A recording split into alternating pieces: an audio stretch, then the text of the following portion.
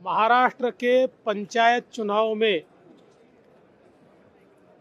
Bharatiya Janata party और हमारे शिंदे जी के नेतृत्व की बाड़ा साहेबांची शिवसेना, इनको प्रचंड यश मिला है। तीन हज़ार उनतीस पंचायतों में हमारे सरपंच चुनकर आए हैं और ग्रामीण जनता ने इस सरकार के ऊपर पूरा विश्वास दिखाया है। मैं महाराष्ट्र की जनता का बहुत बहुत आभार व्यक्त करता हूँ।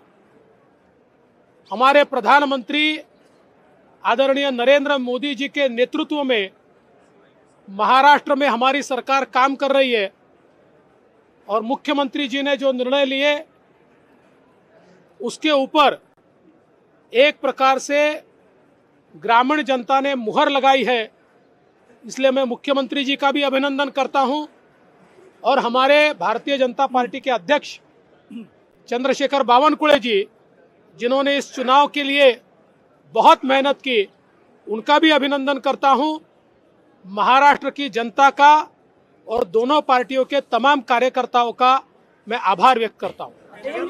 को लेकर सभागृह में जो आज की मांग उठी आपके एमएलए के श्रद्धा मामला और इस मामले को लेकर, कानून बनाने को लेकर सभागृह में? देखिए, आज सभागृह में श्रद्धा वालकर के मामले में सभागृह की ये भावना थी कि जिस प्रकार के मामले बढ़ रहे एक प्रकार से ये सारा लव जिहाद का जो प्रकरण है, ये महाराष्ट्र में भी बड़े पैमाने पर दिखाई पड़ता है।